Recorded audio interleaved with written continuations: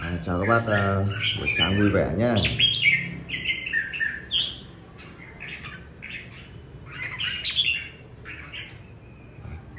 đang uh, quay tại nhà cám chim đất Việt đây.